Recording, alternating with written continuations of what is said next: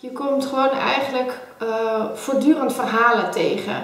Hè, in het verpleeghuis of als je bij mensen thuis op huisbezoek gaat. Um, en um, de communicatie met je patiënt, dat staat centraal voor mij. Je bent aan het behandelen, je zorgt voor mensen, maar communicatie staat centraal. Omdat je gewoon samen met je patiënt moet kijken hoe gaan we dat laatste stukje van het leven inrichten.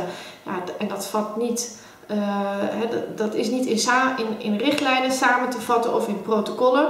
Dan moet je elke keer met iedereen opnieuw weer uitkomen. En communicatie speelt daarbij een hele belangrijke rol. Uh, en dat vind ik een heel leuk onderdeel uh, van mijn vak.